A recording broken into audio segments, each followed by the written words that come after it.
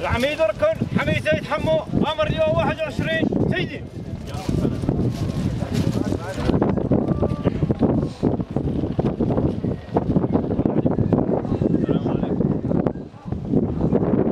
أجمل الترحيب معبرا بالأصالة عن نفسي ونيابة عن ضباط ومقاتلين. فرقة المشاة الخامسة عشر. عظيم الاعتزاز والتقدير. ستجدون الفرقة المشاة الخامسة عشر خير عون لكم.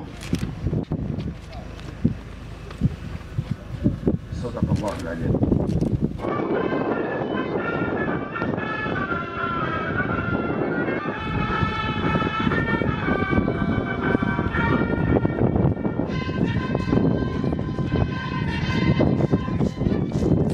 شاء الله سوف نكون عند حسن ظن قيادتنا. الآن أوامر. أهم الموانع الطبيعية في المقاطع هو سلسلة جبال عداية من جهة الشمال. الصفحة الأولى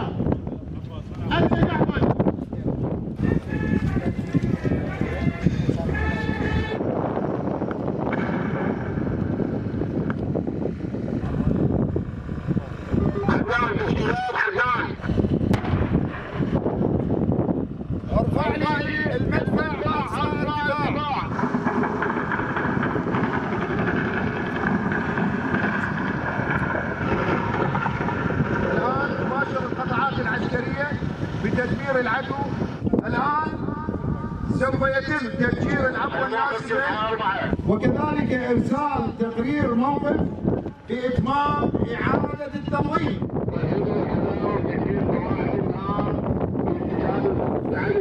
تم تحرير لواء المشاة الحادي والسبعون ووحداته لمدة شهرين من تاريخ 15 7 2023 ولغاية 14 9 2023 حيث تدر- تدربت خلال هذه الفترة على التدريب العسكري الأساسي والأسلحة والتدريب الاختصاص والمهارات الإضافية والتدريب الإجمالي والتدريب الليلي حضرنا هذا اليوم إلى قاطع نينوى لغرض تنفيذ تمرين لواء مشاة بالهجوم المدبر الذي نفذ من قبل لواء المشاة ال 71 أحد تشكيلات الفرقة 15 قيادة عمليات غرب نينوى.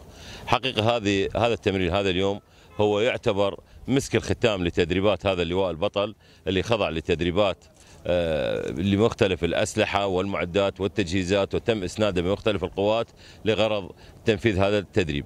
هذا التمرين اللي نفذ اليوم هو عبارة عن حصيلة لجهود التدريب خلال هذه الفترة الماضية واشتركت به كافة الصنوف من المدفعية والدبابات والهندسة والصنوف الإدارية الأخرى وأيضا بإسناد القوة الجوية طيران جيش الغاية من عندها رفع الاستعداد القتالي لقطاعات الجيش العراقي الباسل وأشرفت عليه دائرة التدريب بكل المديريات وكل الأخوان الحضور اللي شرفونا بالحضور هذا اليوم إلى قاطع اللواء.